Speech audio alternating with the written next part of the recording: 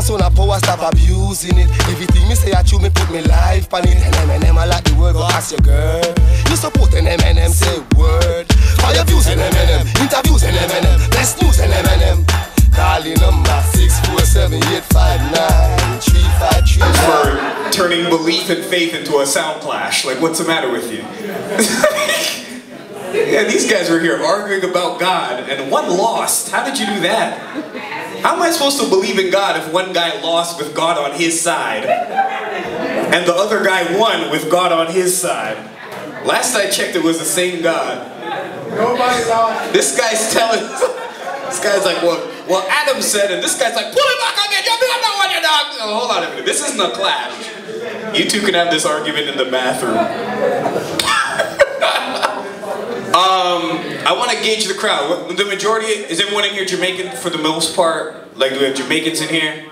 Are you even enthusiastic about where you're from?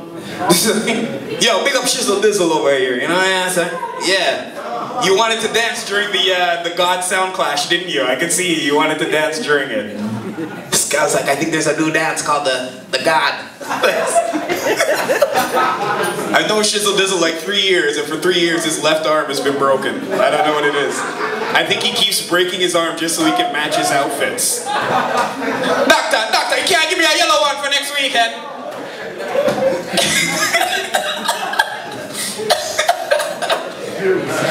oh my goodness.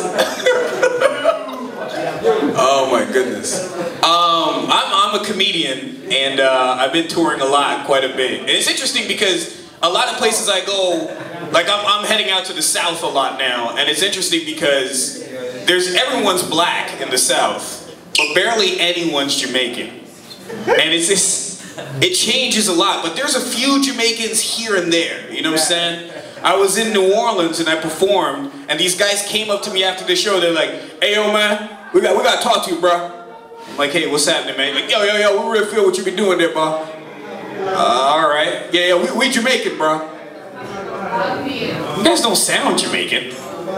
What part of Jamaica you guys from? Well, we not really Jamaican. I mean, we just like it.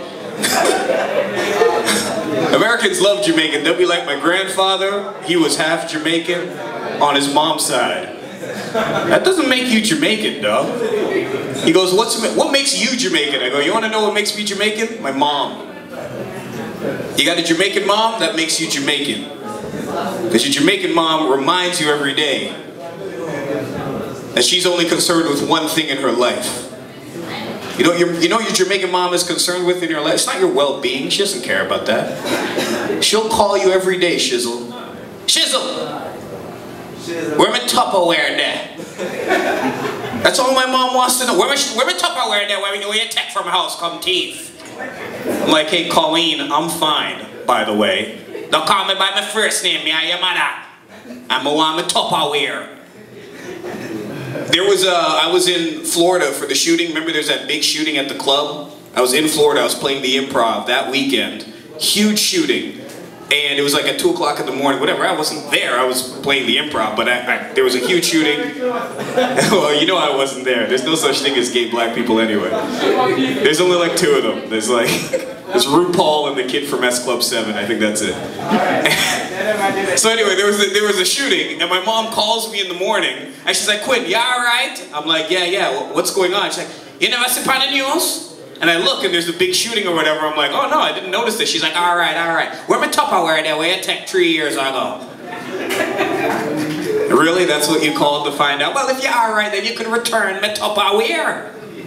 And they remember what you take in the Tupperware too. Remember you took two pieces of jerk chicken and all of the rice? How do you remember that? No, I want the Tupperware. I'm gonna wait till my mom dies. I'm gonna go to her funeral. I'm gonna bring her all the fucking Tupperware she wants. oh, I think I can't cuss bad word in here. Sorry, I could just smoke weed out front for an hour. Sorry. what an asshole I am. Sorry. Oh, I'm sorry. I didn't. I didn't mean to swear. I'm, That is what comes out and then files a man. uh, hey, you lost the God battle. Shut up. you can't heckle me, buddy. Even God doesn't like you. And you haven't sworn in about 35 years. Guy hasn't sworn in 40 years and God's like, I'm not on your side in my debate. But you're gonna win, God. I don't want you to represent me. I want the other guy to represent me. You're gonna have a good prayer session this Sunday. God, I hope I can win the next sound clash. My song got killed off. Pick up your gun and throw them away.